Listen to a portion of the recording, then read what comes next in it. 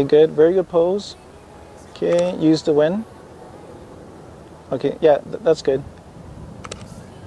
Hey everyone, today is a lens comparison between the Leica 50mm Summicron APO or APO version against the Zeiss 50mm C Sonnar lens, which has a widest aperture of 1.5.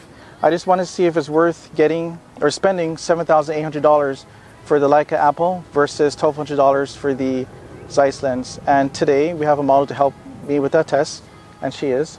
Danica. My name is Danica Baron. Um, I'm 19, been modeling um, on and off since high school, and I'm happy to be here. All right.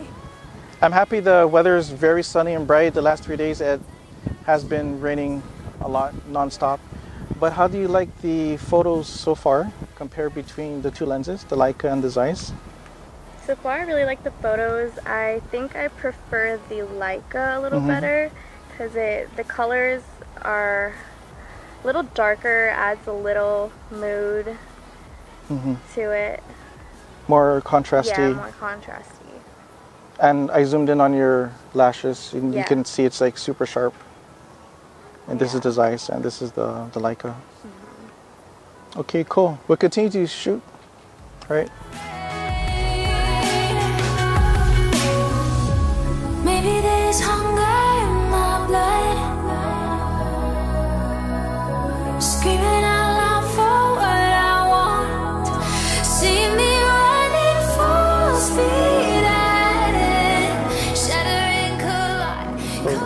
On three. One, two, and three. The physical features about the uh, Leica and the Zeiss. Uh, the Leica focuses much closer at 0.7 meters, which is about 2.4 feet. The Zeiss focuses farther away at 0.9 meters, which is about 3 feet.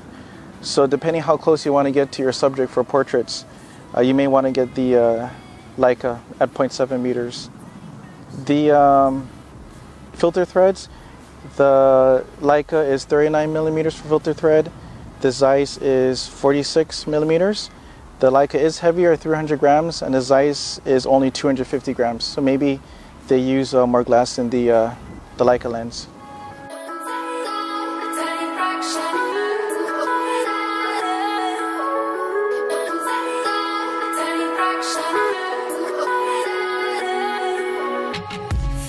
While Danica is taking a break, now I want to test both lenses at aperture f2 wide open and shoot it against, as you can see, this bright sunlight. In front of the bright sunlight, there's leaves or branches, and I want to see if there's any uh, CA chromatic aberrations uh, along those uh, branches and leaves. And it usually causes purple fringing, and I want to see if the Leica holds up to its name, Apochromatic.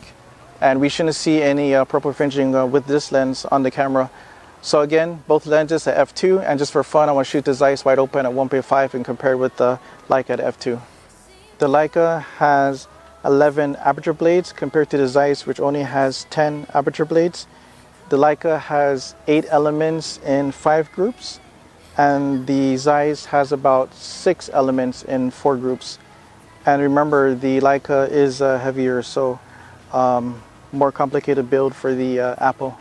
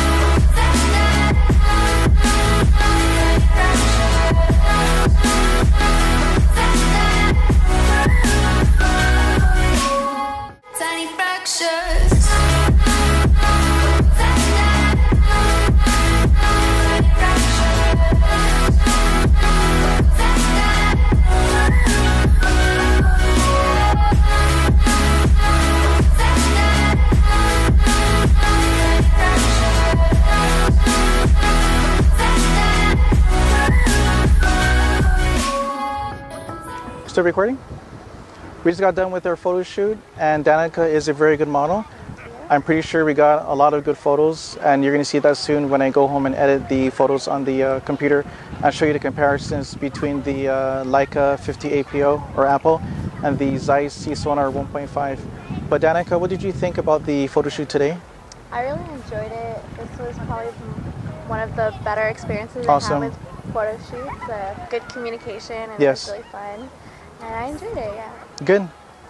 And uh, you have to choose your favorite lens, the more expensive uh, Leica or the Zeiss. Keep in mind, this is almost eight thousand dollars, and the Zeiss is like twelve hundred. But based off just the back LCD of the camera, which one would you choose? Um,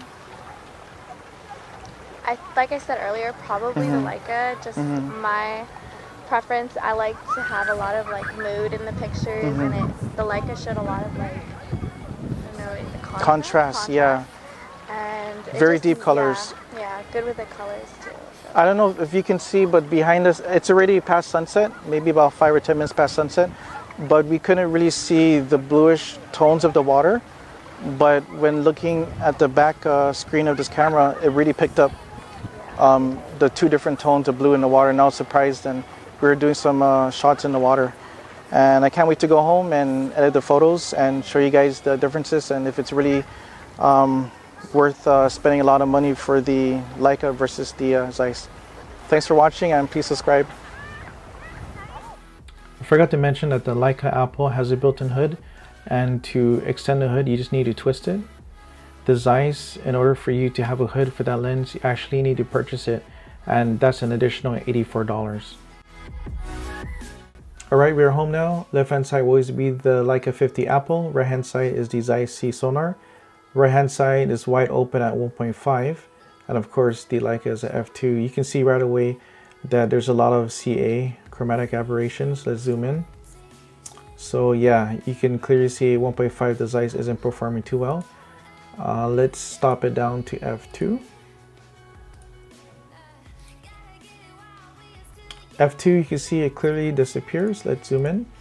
But I can see towards the right side of the frame, you can still see uh, along the leaves that there is um, uh, blue fringing here. Uh, APO, maybe there's like dark purple around the branches, but still very well controlled. And let's take a look at the APO against uh, the Zeiss for flare.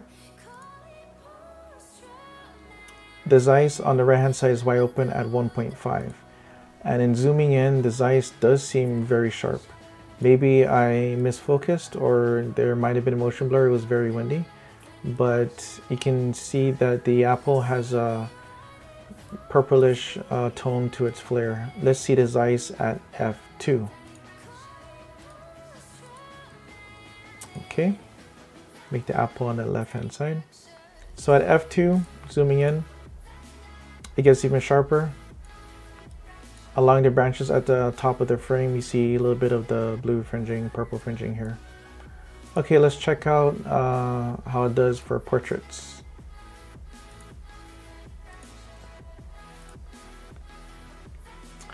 As you can see, the right hand side shot wide open with the Zeiss uh, 1.5. It renders the background really nice and creamy. It gives it that classic look. Left hand side, I've been noticing that the APO shoots underexposed a bit, but the contrast is really there. There, I did I misfocused on this shot, but I would just want to compare uh, the same kind of uh, half body portrait with the Zeiss at f2. So let's uh, look at that. Okay, so f2, the background looks very similar. Maybe the Zeiss a little bit creamy. As you can tell, the colors with the Zeiss a little bit yellowish and greenish. The Leica is more truer. Okay, let's look at another set of photos.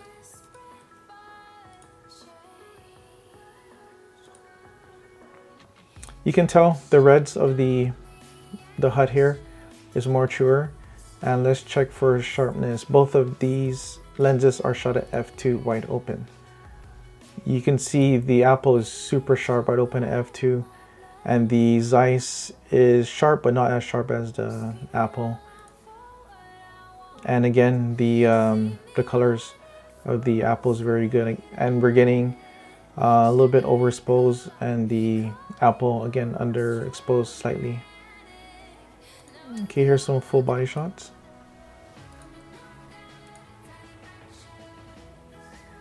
So this is a shot wide open right hand side. It does have better subject to background separation. When zooming in, of course the APO wide open is very sharp. There is a soft glow to the Leica, uh, sorry, the Zeiss at 1.5. Okay, let's compare Zeiss at f2.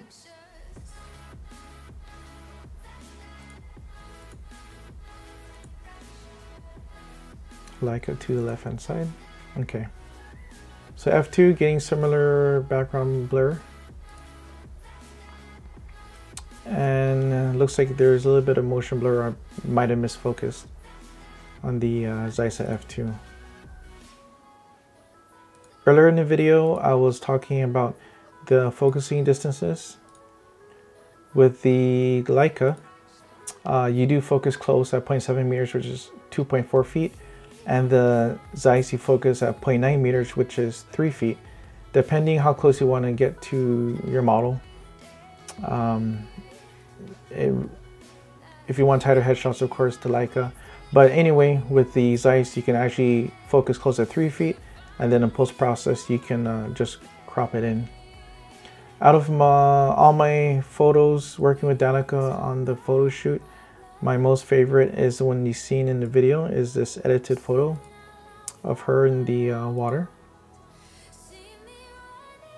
The photos in the video you, you see while we're doing a shoot has been edited in Lightroom and Photoshop. And all the photos you see in Lightroom have been unedited. The only thing I did is change the color profile to embedded.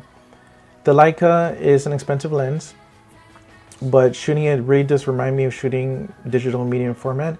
The subject is very sharp and the bokeh is very creamy. There is subject and background separation and hardly, you don't even see any CA at, at all. The Zeiss gives a nice 1950s, 1960s classic look to it. It does make uh, the background more creamier because you can shoot wide open at 1.5. And I don't think uh, shooting the lens at 0.9 is going to um, make anyone not buy it because the focusing distance is a little bit farther like I said, you can always crop in um, uh, post-production.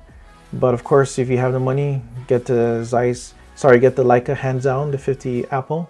It is the best, uh, in my opinion, the best 50 ever made because it's so compact and the image quality is amazing. But if you want the old classic rendering, then the, the Zeiss will do. And you can find it used on some forums for like $800. The APO brand new 7800 but used maybe you can find it um, maybe for like high 5000s. Thank you for watching and please subscribe.